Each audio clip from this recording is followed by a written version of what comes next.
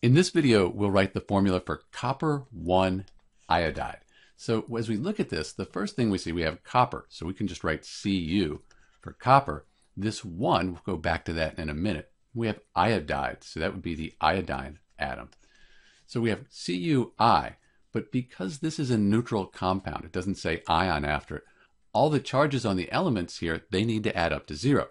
That's because we have a metal and a nonmetal here, and we're told the charge on the copper. We're told that this is 1 plus. So the charges, they're going to have to add up to 0. So copper, we're already told that's 1 plus. It's a transition metal, so they have to tell us the charge since this can have different charges. Iodine. On the periodic table, if we look at the periodic table, we can see that iodine is right here in group 17, sometimes called 7a. All of these, they're going to be 1 minus. So you know iodide, that'll be the 1 minus. We said that these need to add up to zero since this is a neutral compound. They do. So the formula for copper 1 iodide is just CuI. Let me clean it up a bit.